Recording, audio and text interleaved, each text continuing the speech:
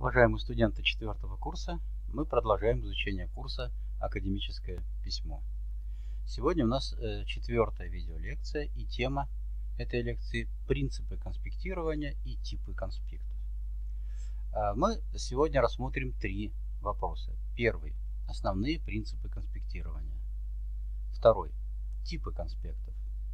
И третий – роль конспектирования в работе с источниками и литературой в процессе исследования. Литературу к теме я дам в конце и контрольные вопросы тоже. Итак, начнем. В русском языке немало слов, корень которых начинается со слога «кон».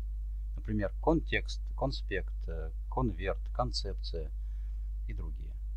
В этих словах «кон» несет смысл сжатия, сближения, сосредоточения чего-то в чем-то.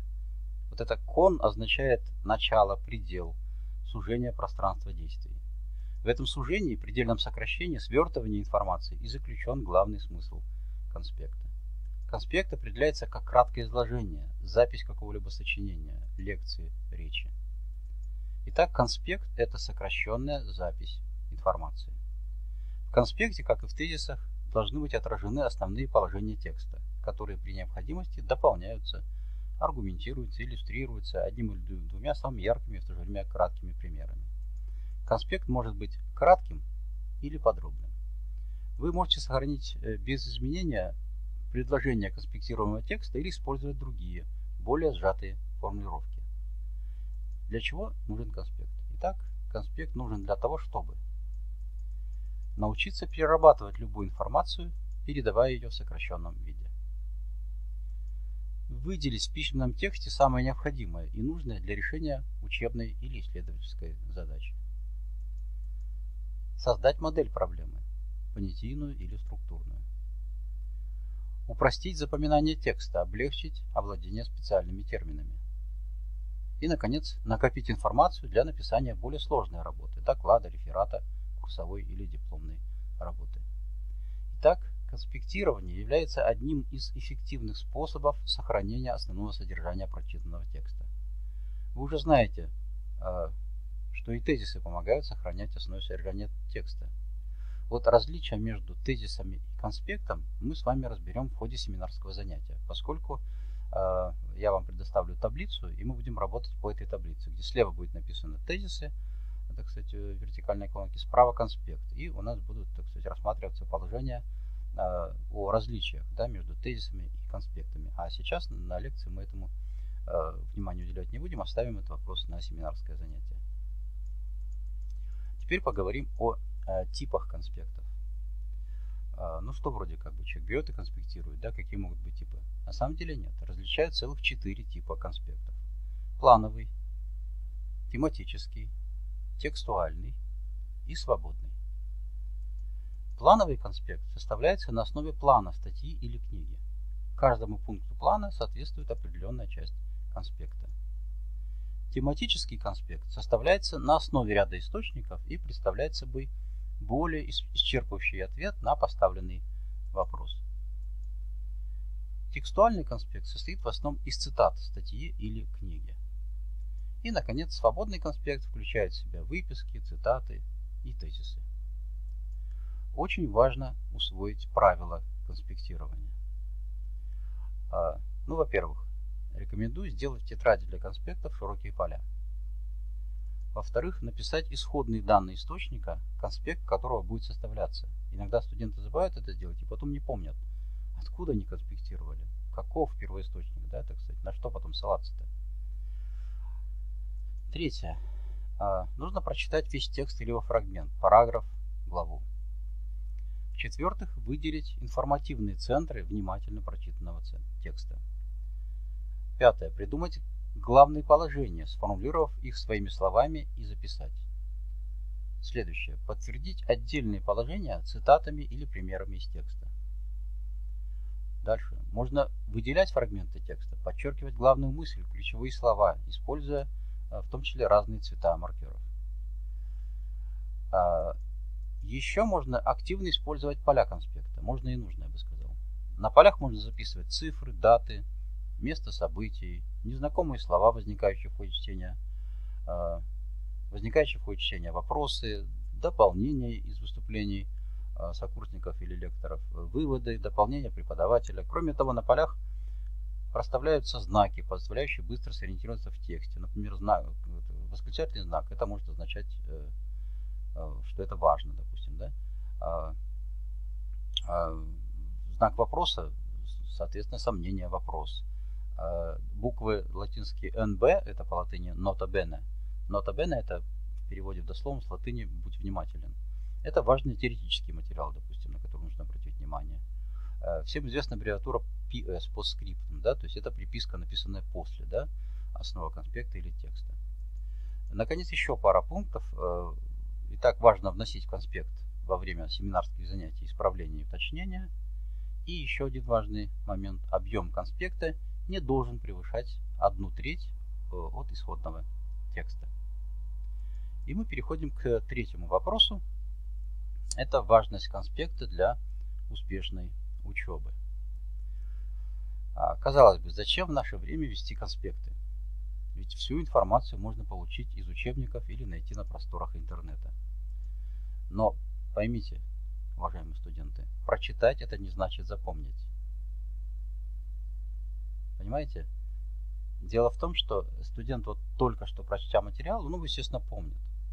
Но вспомнит ли он о том, что он прочитал сейчас, э, допустим, через неделю, через месяц, через 4 месяца, в конце концов. Такова длина семестра у нас. Понимаете, а, я давно уже преподаю и неоднократно сталкивался с тем, что студенты не умеют конспектировать. То есть ты читаешь в аудитории лекцию, и некоторые пишут, некоторые много пишут, практически все, каждое слово, так сказать, его записывают. Некоторые пишут тезисно, а некоторые не пишут вообще. Вот подходишь к такому студенту и спрашиваешь, а, собственно говоря, почему, молодой человек, вы не пишете? А он говорит, а зачем писать? Я все помню. Ну, естественно, он помнит, потому что он услышал что-то от лектора там 5 минут назад или 10 минут назад. Но эта память у него уже не, не может сохраняться вот как бы вот такой свежей э, постоянно. Он выйдет из этой аудитории, пойдет в другую. Там ему другой лектор будет читать э, лекцию совершенно на другую тему и даже, собственно говоря, по другому предмету. Потом будет следующая лекция, потом будет еще какое-нибудь занятие. Потом ему нужно будет читать э, одну книжку в библиотеке, там, какую-нибудь статью. И вот это то, что ему казалось, что он все это блестяще помнит, он э, забудет. Забудет ну, через два дня, через четыре, через неделю, через месяц. А нужно будет вспомнить перед экзаменом, перед рубежным контролем. Понимаете? То есть поймите, прочитать не значит запомнить, услышать не значит запомнить. Понимаете? То есть должны быть какие-то, вот как говорил знаменитый педагог Шаталин, э, опорные сигналы. То есть конспект это есть опорный сигнал. То есть вот краткие тезисы. Вот здесь как раз таки встретив э, так, э, знакомые какие-то э, тезисы, вот студент и получает такой своеобразный крючочек в память, за который вытаскивает как бы, да, э, вот эту основную информацию, которая была получена на лекции. Э, самостоятельное составление конспекта помогает перевести прочитанный материал из краткосрочной памяти в долгосрочную. Вот я вам только что говорил, я называл эту память свежей, а на самом деле можно ее называть краткосрочной. То есть то, что ты услышал или прочитал совсем недавно. Так вот, важно, чтобы то, что ты недавно, так сказать, видел, слышал, ты мог потом это использовать, вспомнить, применить. Это и есть перевод материала из краткосрочной памяти в долгосрочную. Что часто у студентов не срабатывает. Вот сколько раз вы ловили себя на, на, на, на мысли, что я же это знал, я же это вот, вот недавно встречал или там когда-то встречал. Ну да, когда-то знал, когда-то встречал. А извлечь из памяти, да, перевести из той вот краткосрочной памяти в эту, так сказать, долгосрочную и тем более применить, не получается. А вот, и это очень, очень плохо на самом деле. То есть человек должен, должен бы, да, уметь использовать э, рационально, так сказать, да, все накопленное знание. Потому что это и есть, собственно говоря, наше Э, наш интеллектуальный потенциал, наше, на, наше интеллектуальное богатство, наше отличие, так сказать, да, образованных людей от не очень образованных. Так вот, а, кроме того, что, э, чему помогает, так сказать, конспектирование? Систематизировать информацию и раскладывать ее по полочкам, понимаете? То есть, изучая конспект, ты вспоминаешь то, что было, так сказать, да, и можешь как бы осмыслить еще раз вспомнить, так сказать, да, систематизировать, разложить ее, так сказать, логически, последовательно, структурно и так далее. Мыслить логически, я уже об этом. Ну да, очень важный элемент. То есть конспектирование помогает мыслить логически. И еще выделять главное и второстепенное. Безусловно. Если, если это вошло в конспект лекции, или в конспект, э, допустим, какой-либо работы письменной и так далее, значит, это важно. Да? Значит, вы же обратили на это внимание. То есть вы когда впервые читаете текст или слушаете лекции, вы понимаете, что есть какие-то вещи важные, а есть вещи какие-то, ну, скажем так, менее важные, да, или проходные, скажем так, да. Вот, соответственно, то, что важно, нужно вносить в конспект. Он потом, кстати, вам поможет более глубоко разобраться в той или иной теме. Еще э, важный момент. Различают несколько типов конспектов, где каждый из них предназначен для определенной области или вида работы. Поэтому необходимо их различать и знать, где лучше использовать, а также научиться красиво оформлять конспекты. Э, я бы сказал, э, не красиво скорее, а, наверное, как-то функционально, да, так, чтобы вам это подходило, чтобы вы потом могли как раз таки извлечь нужную для себя информацию из того или иного конспекта. Итак, план конспект. Вы наслышали такое словосочетание. Этот конспект составляется на основе уже данного или самостоятельно составленного плана, разделенного на пункты и подпункты. Остается только под каждым из заголовков кратко записать раскрывающую его информацию. План конспект имеет свои преимущества.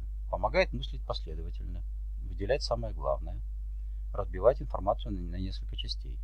Он удобен для записи лекций, если преподаватель заранее дает план. Также помогает эффективно готовиться к экзаменам. Вы можете смотреть на заголовки и по памяти э, вспоминать и рассказывать э, их содержание. Ну и, наконец, конспект лекции. В конспекте лекции э, нужно наиболее точно и полно раскрыть главные идеи, передаваемые лектором. Для этого нужно уметь выделять ключевые моменты, анализировать информацию, отсекать все лишнее и быстро записывать. Э, в основном конспект лекции представляет последовательную запись того, о чем рассказывал лектор, так как на составление четкого плана и подробного просто не остается э, времени. Итак, э, по поводу быстро записывать. Вы можете придумать для себя какие-то знаки, символы, так сказать, да, которые помогут вам гораздо быстрее, э, так сказать, потом э, э, прочесть, э, то есть э, записать для начала, да, вот, а потом э, прочесть и понять, э, так сказать, текст какой-либо. Э, на этом, кстати, основано стенографирование. Вы знаете, да, что раньше, когда не было компьютеров, то запись э, каких-то официальных там бесед, э, речей, выступлений, так сказать, да, на каких-нибудь там форумах, пленумах и так далее, вели стенографисты или стенографистки, да, чаще всего.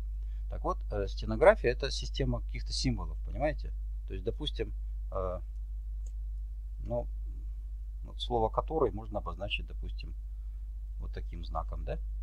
А вот. Там, допустим, объем можно, допустим, обозначить вот таким знаком, да? А вот, э, допустим, период можно обозначить вот таким знаком. И так далее. То есть, понимаете, да? То есть, э, когда вместо целого слова употребляется просто какой-либо символ.